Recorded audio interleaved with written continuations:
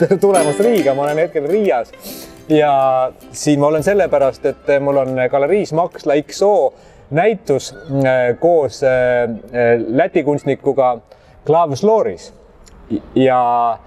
see on selline ühisnäitus, et need on tegelikult kaks soolonäitust, üks ühes ruumis, teine teises ruumis. galeriil on kaks nagu saali.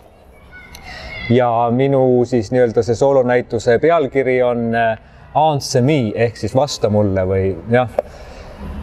Ja, ja see projekt on nagu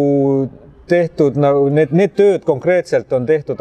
tõesti mõttega, et me leppisime eelnevalt kokku galeriiga, et, et teema selline ja, ja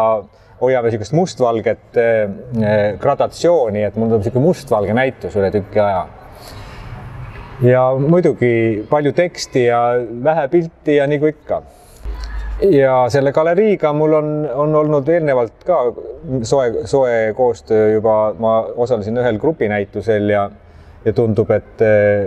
et sügise poole tuleb midagi veel siin, et, et ma olen päris põnevil, jah. Noh, näiteks selle galeriigagi ma tutvusin niiviisi, et, et eelmisel kevadel kutsus mind Vilniuse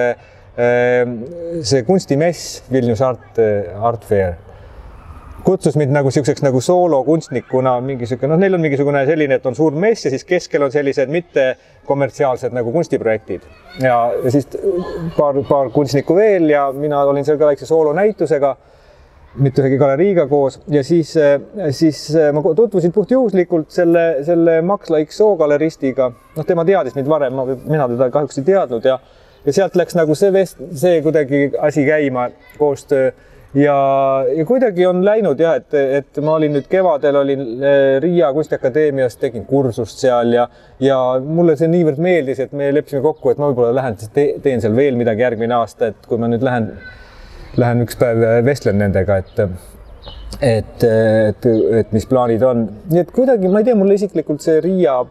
on vahelduseks väga meeldib, et ta on, mulle meeldib Riia kui linn ka tegelikult, ta on niisugune, niisugune noh, natuke lohakam ja suursugusem kuidagi kui, kui Tallinn ja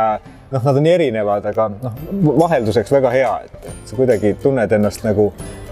täiesti võõras kohas, aga, aga see on kõik nii lähedal ja siia on nii lihtne tulla ja, ja noh, selles mõttes ta on kihvt, kihvt, kihvt linn